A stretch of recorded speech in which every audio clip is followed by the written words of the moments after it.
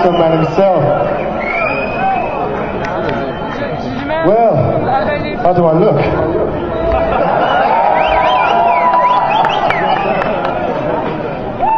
And I mean, where's the candles? No candles. Oh well, we're back.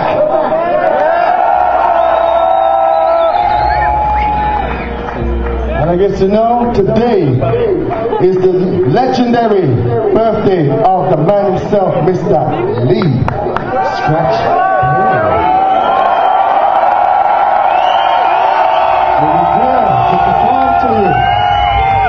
So I want you all to put your hands together